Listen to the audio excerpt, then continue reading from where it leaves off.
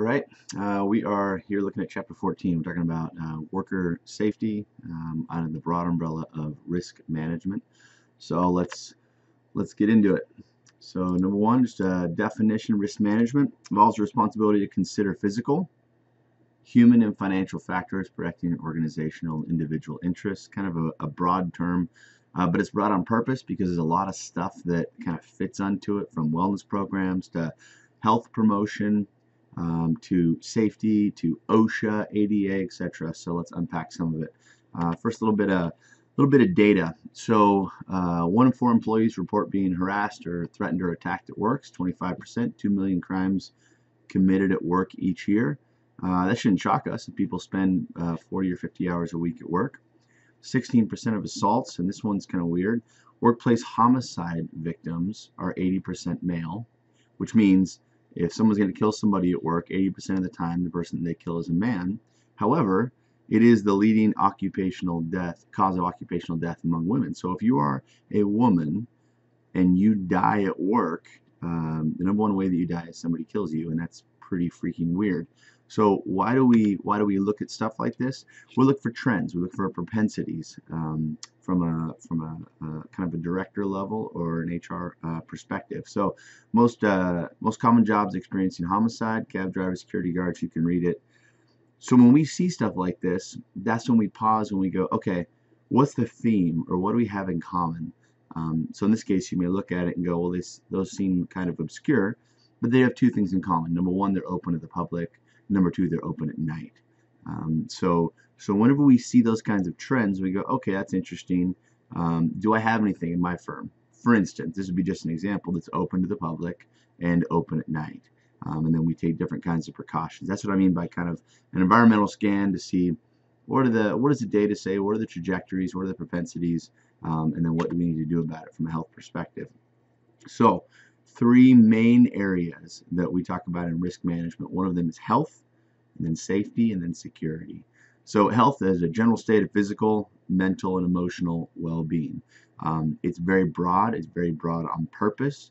And we'll get to a law here in a little bit called OSHA, where there's a thing called the General Duty Clause, which means, in general, organizations have the duty or the responsibility to make sure that their employees are in a safe and healthy work environment. So very broad.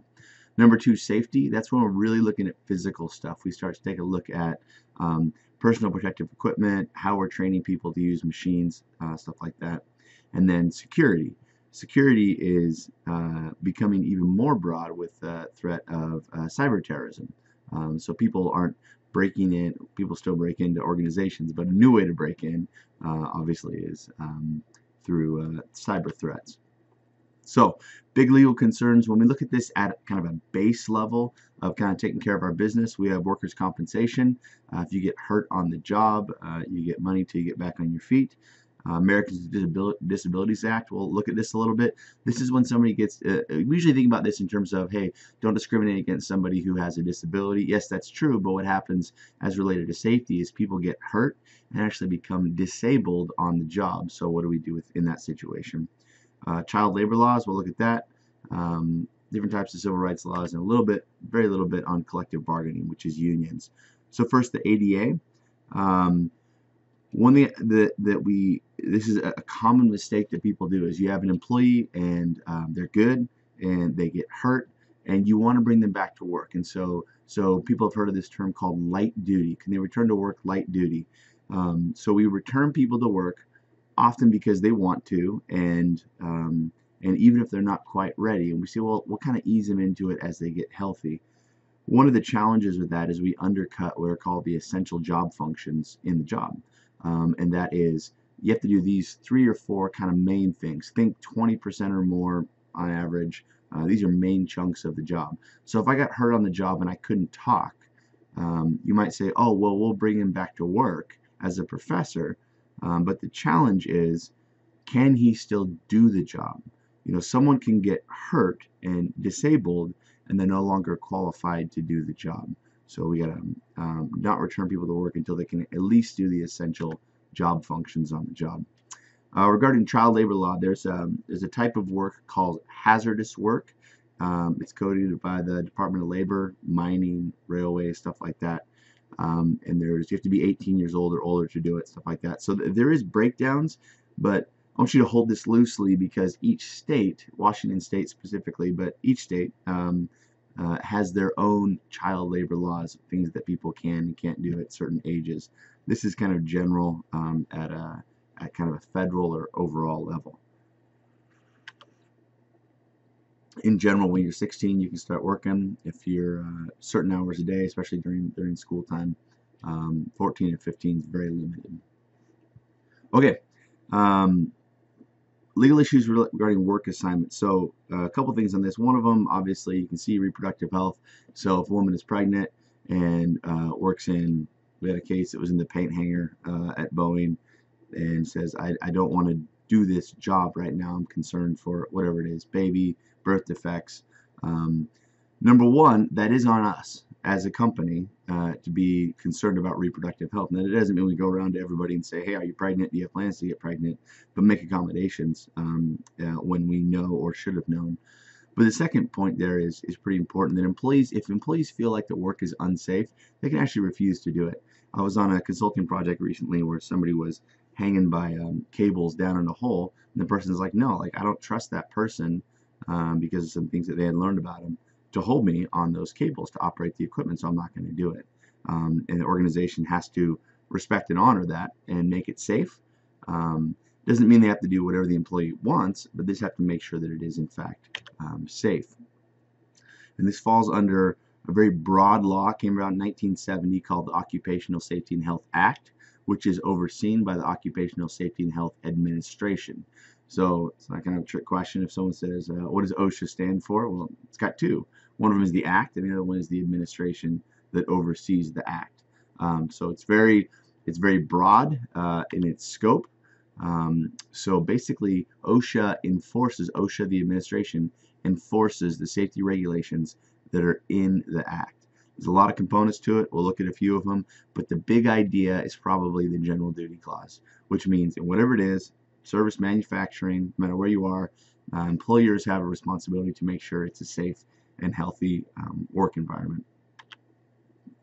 This is some data since 2004, uh, specifically workplace fatalities. And people might point to this and say, hey, look, OSHA is actually working. We are making the workplace uh, more safer. You can see there was a big drop there up to 2008, 2009. It kind of kind of leveled out. Um, Oh, this is uh, OSHA is also it's kind of weird, but it's related to uh, unions and union laws as well. Uh, in that unions are are usually they have a heavier presence in the manufacturing sector, where you're more likely to see accidents, certainly uh, workplace fatalities, and um, and people would argue maybe there's less of a need for unions now because of laws like this, because of the Occupational Safety and Health Act, um, which is put in there for workers. So, um, what does OSHA cover? It's got a few things. Number one of them is how they enforce their laws, uh, which can include in inspections, surprise visits, even. Uh, another one is hazard communication. If you're ever walking down the hall, somebody mopped the floor, and there's a sign up, you know, that says caution, floor is wet. That's an OSHA issue. Um, or instructions next to a fire extinguisher. That's an OSHA issue. You have to communicate where there's a potential hazard. Uh, bloodborne pathogens. Um, gloves, masks, stuff like that. Uh, basically a way to respond in case of an accident to minimize the risk of um, bloodborne pathogens. Next one is personal protective equipment. There's different, you know, I've got a video link there, but there's different things on this. But this is when you think of, uh, like, I, my mind goes to a construction site, someone wearing a hard hat or steel-toe boots or gloves, uh, or if somebody is is uh, working with wood, they're going to use uh, eye protection, stuff like that. So those are the things that say, no, you have to you have to wear these uh, to protect you. It sounds uh, maybe odd, but a lot of workers often will say, well, I don't want to. It's inconvenient to wear the goggles. They fog up, or inconvenient to wear the gloves because I can't, you know, pick up things that I want to pick up, uh, small, uh, kind of fine things. Um, again, it's on us. If we if we train someone and we um, tell them about personal protective equipment, make it available to them, and they don't do it, um, and they get injured, that still comes back to us as the organization. Um, both there's a, there's a moral component there. Somebody got hurt, but also a legal component. Um, and pandemic guidelines. What do we do with things like coronavirus or SARS or whatever when it's going out? So OSHA has uh, has this this concept of recordability and and it produces what's called the incident rate. So how many how many people do you have? How many incidents have you had per year? And it's kind of a weird a weird game that safety managers feel like they have to play.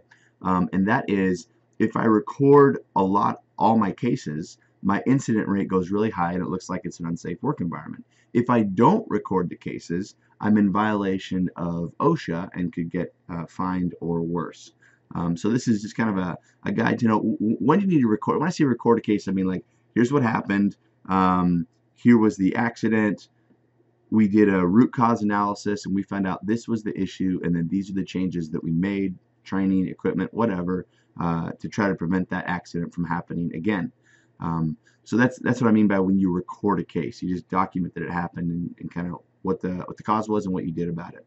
So uh, if somebody dies at work, you're gonna have to write that down, right? I think we got that. If somebody gets sick at work because of something at work, you're gonna have to write that down.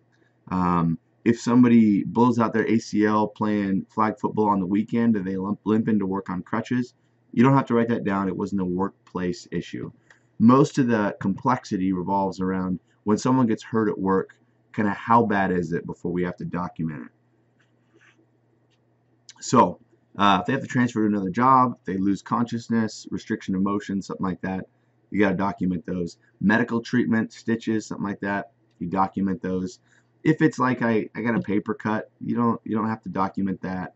If no first aid was done, you don't have to document that. For the most part, like when in doubt, write it down, root cause analysis, figure out what happened, and figure out um, how to prevent it from happening again if you can. So OSHA inspections. The Occupational Safety and Health Act has got a board of um, inspectors, and they they will show up at your company for one of two reasons. Well, maybe one of three reasons. Number one, you have a spike in your incident rate, meaning it's getting worse. They might show up. Uh, number two, um, you're a big company and they can affect a lot of people. So you'll find a lot of OSHA inspections at, you know, Amazon, Costco, Walmart, stuff like that. Because if they can make a change, it can impact and help a lot of people because it's a large organization, just straight in size. Um, but the third reason, and probably the most common reason that you have an OSHA inspection, the surprise OSHA inspection, um, would be that somebody made a call. Um, so, and I, think this is probably known at this point, um, but if employees make a call to OSHA, an accusation, think of it like they're making a call to the EEOC, making an accusation. The same retaliation principles apply. We cannot retaliate against an employee. Hey, you called the government on us. You know, I thought you were on our team, etc. Nope. They have the absolute freedom and right to do that, um, and no retaliation against them. Accordingly, otherwise, um, otherwise there are legal consequences. So, someone comes to the door for an inspection. Uh, you can ask for the credentials. That's fine. Uh, initially, you can even you can even decline if you want to. I don't recommend it. Um, I use the analogy of, of I review papers, right? Academic papers for, for publication. My, my job, my eye, and my mind is trained to find problems in papers. Weak arguments, poor citations, um, uh, statistical errors, stuff like that. So with any paper, um, I can find something wrong and and that's just that's just my eye was trained for. Safety inspectors are the same thing. They can walk into any company and find something wrong, and if you deny them at the door, force them to go get a warrant to show up, chances are they're going to find a lot a lot of things wrong, and it's not going to go well for you. Um, so so my experience with uh, with OSHA investigations has been fine. People come up and say, yeah, it's great. Well, let's walk around, show me what you see, and and and kind of partner with them. I've heard horror stories uh, when they're particularly angry, I, but I haven't experienced that um, myself. So an inspection is there. Yes, it is legal. Yes, they do have the authority to do it. Um, and if they find things, they may cite you. So if there are uh, four different citations, um, well, sort of five different citations you can get. One of them is called imminent danger. That's the worst. That means someone's about to die. Um, you're going to get cited for that. You're probably going to get fined for that. Uh, the next one down is serious. It means hey, like like somebody could get really hurt here. Um, chances are you'll will probably be cited for that as well. There's one called other than serious, uh, impact employees' health or safety, um, but it probably wouldn't really maim somebody or kill somebody. Um, you may or may not get cited for that. When I say cited, I mean fined. You'll certainly uh, get a you know get a violation, get a write up that you'll need to deal with. Um, so that the top one is imminent danger, kind of works its way down uh, to the last one being de minimis. It means it's not a big deal, but hey, as soon as you get a chance, get over there and uh, and take care of whatever the issue is. No doors in the bathroom stalls, I mean whatever. There's a weird category that can affect any of them, and that's called willful and repeated. It means uh, uh, an OSHA inspector showed up to my job site and people weren't wearing hard hats and they were operating, you know, under someone laying bricks or something. Um, and they say, hey, that could that could really mess somebody up. Uh, we're going to cite you for that and get it fixed. Then they come back a week later and the same thing is happening. It means it's willful. You knew better and you did it anyway, and it's repeated. This is the same thing more than once. Those almost always incur a pretty significant uh, financial penalty and have not taken care of civil penalty as well. Okay, when there is an accident, uh, what is kind of the, the recognized protocol to respond to it? Um, so we'll do this in class sometimes. I'll say, okay, if you go in factory floor and, and somebody is, is bleeding, you know, from their arm, it, it's bad, um, what do you do? And they're like, well, we call 911, um, and and then we, uh, you know, ask the person if they're okay. I'm like, yeah, sort of. The first thing you do is you stop and you look and go, what caused this? And you unplug the freaking machine. Like, like whatever the threat is, neutralize the threat immediately then go to the person, right? Perform first aid if you can, call 911, etc. Um, you also want to take a quick look around the room. The idea is, who saw this? Because um, we're going to need to do an investigation, and we want to know what happened, how this person got hurt. So um, neutralize the threat, attend to the person, and as you're attending to the person, be like, okay, you, you, you, you go to whatever, three different offices. Don't let them hang out. Don't put them in a room Think of it like you're conducting an investigation, an EEO investigation. Like you ever watch, you know, CSI, you know, on TV or something like that. You want to separate the witnesses, otherwise they begin talking, um, and then the stories begin to change. And you want you want independent verification. You figure out what happened. Uh, I said identify kind of a root cause analysis. What was what was the problem here? Um, and then you may uh, you may want to do a drug test to the person if there's um, if there's suspicion uh, under reasonable suspicion or in cases of accidents are two common ways that we do that um, and then you figure out figure out how to solve the problem, make sure it doesn't happen again. So just uh, just to, to restate, one of the things that people forget to do is neutralize the threat. So you're over there working with someone, giving them first aid, and then somebody else gets hurt. So that'd be that would be the first thing. I mentioned uh, uh, drug tests. This is kind of interesting in states like Washington and Colorado with new marijuana laws. Um, but when talking about substance abuse, think about something broader. Someone showing up, you know, high on heroin, crack, something like that. We'll deal with with marijuana here as well. Um, but the use of illicit substances and the, eh, uh, or the misuse of controlled substances. So people addicted to prescription drugs, um, alcohol, stuff like that, affecting the workplace. There's a lot of different ways that we can test for that. Urinalysis are about 95% accurate. There are ways to dupe them through um, dilution and adulterants. It's about an extra $5 to test for those. So some people say, oh, if you take this, you'll pass the urinalysis. Yes, we can test for that. You know, we're pretty good at pretty good at chemistry at this point. Radioimmunoassay of hair. This is uh, not done very often, and it wouldn't be helpful for someone like me, short hair going bald. Um, the advantage is the accuracy rate's about the same, maybe a little less than a urinalysis, um, but the advantage is time. So, um, for instance, if you have long hair, um, as long as you've had your hair, uh, they can actually tease out uh, drugs in your hair. So, yeah, I did um, whatever meth, you know, four years ago. Well, if I've had that same hair, then then it can be found. Uh, surface swiping, you can do that. Fitness for duty tests. Usually we do that for alcohol, but they're not particularly accurate. Um, it's a lot of subjective judgment uh, kind of involved in it. So, common signs of substance abuse. I love uh, I love seeing these types of charts because I look at it and go fatigue, uh, slurred speech, tiredness. I'm thinking like that's a common sign of being a parent too. So um, your your judgment on this uh, will matter, but we don't go just off of this. This some of these things might be enough to create what's called reasonable suspicion, um, and you can say, okay, go get a drug test. Um, and if they refuse, then you consider it as a failed drug test. That'll be in your policy manual, at least it should be.